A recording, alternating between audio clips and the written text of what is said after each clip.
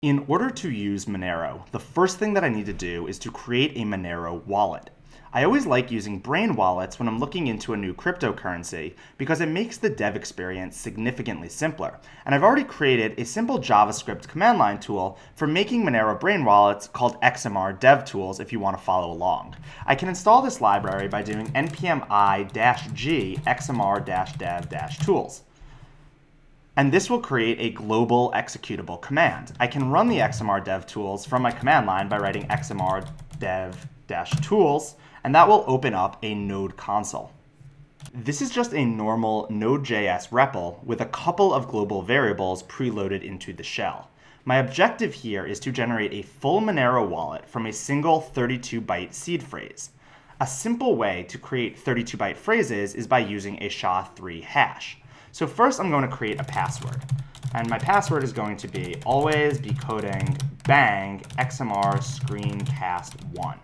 Next, I'm going to expand that password out by multiplying it by 1,000. So I'll set a variable called slug equal to password.repeat 1,000 and now that slug is this really, really long string that I'll hash down into 32 bytes. So I can use the JS SHA-3 library that I have preloaded into the shell to do a SHA-3 hash. So JS SHA-3.SHA-3 which is 256-bit or 32-byte SHA-3 encryption. And I will do that on the slug, and I will save this as a variable called seed. And now this seed is a 64 character hex string that I can use as the seed phrase to my Monero wallet. But just one other thing that I'm going to do for extra security, instead of just running that hashing function once, I want to run it a thousand times. So I'll do Lodash, which is also a preloaded global variable in this REPL, dot times um, 999 more times, uh, and then I will set the seed equal to js SHA-3.SHA-3 256 of the seed. And now if I look at that seed phrase, that has been a thousand SHA hashes of the um, password expanded out a thousand times. And I actually think that this workflow of making large strings, expanding them outwards, and then hashing them a bunch of times is a pretty good way to generate brain wallets for development. But as always, I'll still recommend using hardware wallets for any kind of long-term crypto asset storage. As of the time I'm recording this video, Monero is not compatible with any of the major hardware wallets, but there's a bunch of work being done on that front, and I'm hoping that we will see a Monero hardware wallet released at some point next year. Now, in order to create a wallet, I can run var wallet equals new XMR and pass in the seed as an argument. And now if I look at that data structure that's generated, it, you'll see that it's an object with five values on it. It has a secret spend key, a public spend key, a secret view key, a public view key, and an address. All five of these values are deterministically generated from the seed. So if you have the seed or you know how to generate it, you can always create these values. And these five values in tandem are what we call a Monero wallet. But this is just local JavaScript code. If I want to do anything like check the balance of this account, it's going to require interaction with the live Monero network. Bitcoin and Ethereum make this simple because they have robust ecosystems that provide hosted nodes you can connect to remotely. Unfortunately, as far as I can discern, the Monero ecosystem doesn't really offer one of these services, meaning if you want to interact with Monero, you're going to need to run your own node. If you're going to run a crypto node, I highly recommend buying something like this. This is a Samsung T5 1 terabyte SSD hard drive. It's a great product. It's the size of a business card and easily fits into your pocket. You can carry around with you, and you can sync local nodes for multiple cryptos on it. You don't actually need one terabyte to run Monero. The current size of the Monero blockchain is around 35 gigabytes, so any SSD that's at least 100 gigabytes should be good for a while. You definitely will need an SSD though. So in order to run a Monero node, I'm first going to need the Monero daemon. In order to get the Monero daemon, I'm going to go to getmonero.org slash downloads and find the daemon executable for the operating system that I'm running. I'm on OS X right now, so I'll go to the OS X section and download the command line tools for Monero. There are two options for what to download. One is the command line tools only, and one is the um, command line tools plus the GUI Monero wallet. I only need the command line tools for right now, but I will download that GUI wallet later. Once the file is done downloading, I'm going to need to unpack the tar file that downloaded. So let me go to my desktop where this downloaded, and I can run tar um, jxf monero dash, and then this whole um, thing that it actually downloaded. And once the um, tar file is unpacked, I should be able to cd into the file that was extracted, or the folder that was extracted, and I'll see that it contains five executable files, Monero D, which is the Monero daemon, and then four other ones. So I'm just gonna move these all onto my path with mv um, dot slash star and then slash user slash local slash bin. And then once they're all in my binaries folder, I should be able to go back into that um, XMRcast folder that I was in. I should be able to do which Monero D and it should be able to read it from my path. So if you can find the Monero daemon executable on your path, then you have the Monero daemon successfully installed. And now in order to run the Monero daemon, all that I have to do is run the command monero d. But I want to pass in one option to this executable because I want the data directory that Monero syncs the chain data to to be that external SSD that I have attached to my computer instead of my local hard drive. So I'm going to pass in a flag dash dash data dir equals slash volumes slash Samsung underscore T5, which is the directory of my SSD, and then slash Monero slash chain data um, and I will hit enter.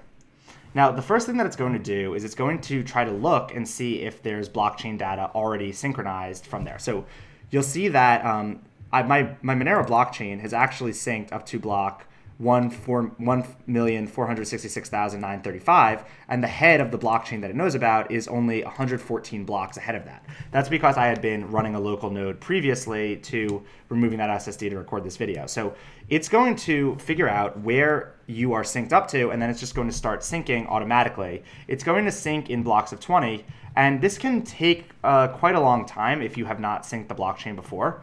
So when I first synced this on my um, SSD, I think that this took around 18 hours to fully sync the Monero blockchain, and it took 35 gigs of space. But this one should go quickly, so I'm just going to let it sync, and I'll be back in a sec.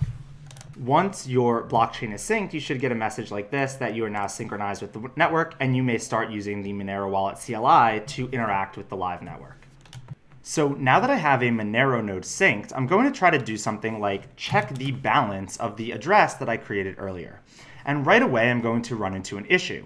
Because of the way that Monero generates one-time stealth addresses for each transaction, there's no simple lookup that I can run to check the balance of this account without needing to iterate over every single transaction.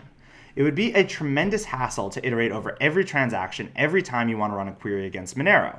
So fortunately, we can create a synchronized wallet locally that caches the result of that initial scan and makes query access simple. So in addition to syncing the chain data locally, when you create a Monero wallet, you're going to need to perform an initial scan of the Monero blockchain to figure out which transaction outputs your wallet is able to decrypt. This is not as time consuming as syncing the blockchain, but it can take an hour or so if you need to scan the entire chain from block one. So I'll show you how you do this. I am going to uh, use the Monero wallet CLI to create a synchronized wallet from these keys that I generated earlier. So I will run Monero wallet CLI, and then dash dash generate from keys. And I need to pass in the name of the wallet file that I want to live locally on my disk. I will pass in the name screencast. And it's going to ask me to paste in the standard address, which is this guy. Then next, it's going to ask me for the secret spend key, which is this guy. And then finally, the secret view key, which is this guy. And then it's going to ask for a password because the um, file that locally lives on my computer is going to be encrypted. So I'll type in a simple password. And then it's going to ask me um, where it wants to restore the blockchain from, what height of the blockchain. And this is basically saying that it's going to start scanning the blockchain for UTXO outputs that I am able to decrypt with these private keys. But it doesn't necessarily need to scan the entire blockchain if I know that the only time this account was used was somewhat recently.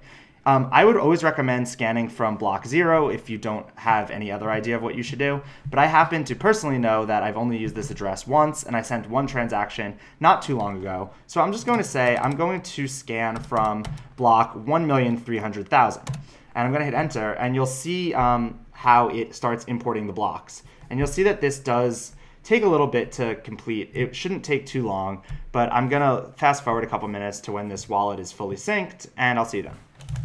And as the wallet is synced, I should get some console output displaying which transactions the scan found. In this case, it found a transaction right here, TXID2C2, where this wallet received 0.088 XMR, which is something in the neighborhood of $25. It also drops me into this REPL when it's done, where I can run commands. For example, if I want to check the balance of the account, I could run the command balance, and it'll display the balance and what is called the unlocked balance.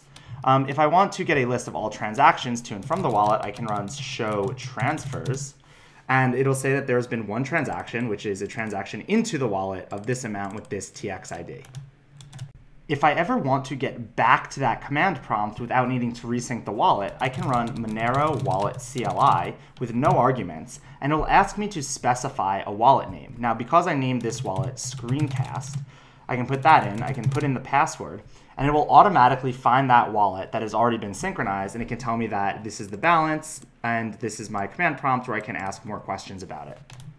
So I'll show you something else that's interesting. So if I go back to that list of TXs that have been involved with this wallet and I copy this transaction ID, Monero actually does have some semblance of something like a blockchain explorer. So this is one example of what blockchain explorers in Monero look like on xmrchain.net. And this is a um, text-based block explorer that has no JavaScript or cookies to help preserve privacy. And if I paste in that transaction hash, you'll see that it does have information about this, but a lot of it is masked. So it knows what block this transaction was in, it knows what the fee was paid, it, it knows um, that it used ring confidential transactions, but it doesn't know anything about how much Monero was sent or who it was sent to or who it was sent from.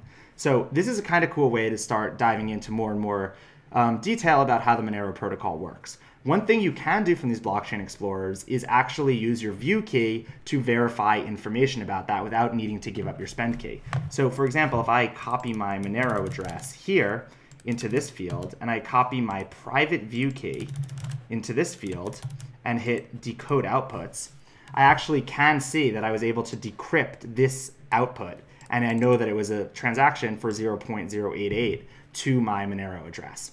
And this is cool because you can do this just using your view keys. So even if this site was somehow compromised, it still wouldn't be able to have any information about how to send your Monero from your wallet.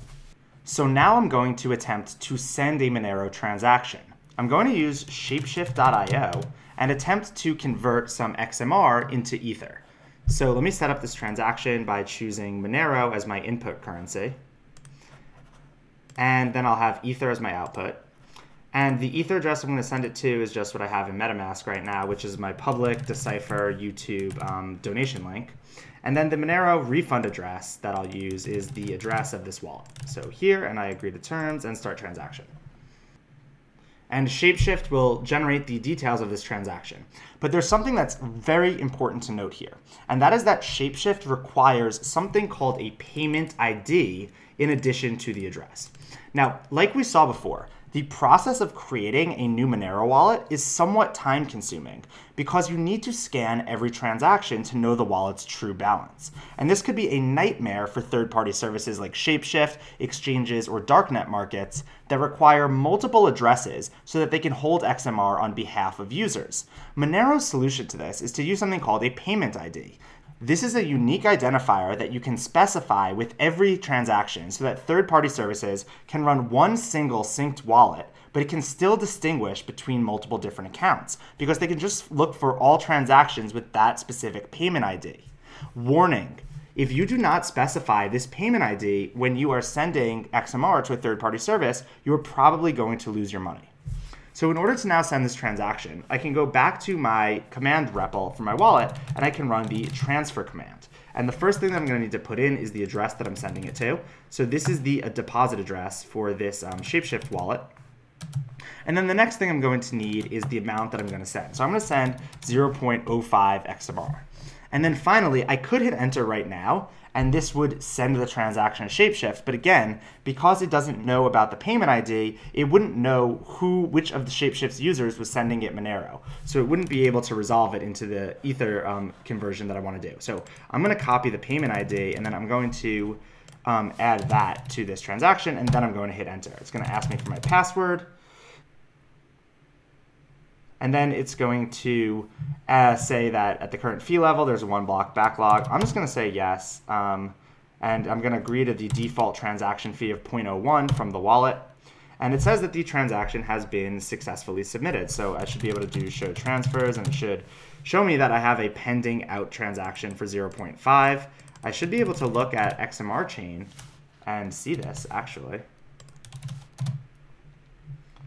And I'll see that on xmrchain.net, it actually does know about this transaction hash. And again, it doesn't know who the sender was, and it doesn't know um, how much the outputs were for.